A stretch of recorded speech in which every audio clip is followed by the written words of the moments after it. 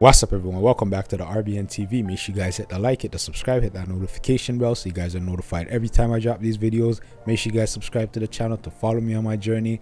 Now after Offset responded to J Prince's million dollars worth of game interview, J Prince wasn't too happy with the response he went on Instagram pretty much sending Offset some threats, telling him that he's a punk, he's a tender D nigga, and whatnot, saying that when he had problems, he had to call him. When Cardi B had her problems with the crib, if y'all remember, Cardi B said she hate wearing blue, she called it the flu.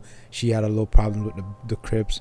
J Prince was saying that Offset had to call him to squash it, but pretty much Cardi B took to Twitter to say that's a lie. She responded to a fan saying that never tell him to show receipts. Only people that was there was Wack and Big U why would he be called for anything involving Crips? Whole bunch of fairy tales. Now, I believe Cardi B, man. Now, I'm not gonna lie. J Prince comes off as the type of guy that puts himself in the middle of people's business, then try to bring it up saying, Look what I did for you. Yeah, I remember the YB situation when them boys ran up in YB, or they tried to run up in YB's crib, took his keys. How J Prince was saying, I got your keys back, or then when Young Boy was telling him to keep it and whatnot, he was saying he's a dumb boy. So, I don't know, man. J Prince is the type of N word I don't know what type of time he's on, but he needs to mind his own business, in my personal opinion. So I'm gonna have to agree with Cardi B on this one. Y'all can let me know your thoughts in the comment section. Hit the like, hit the share, hit the subscribe button. You don't know.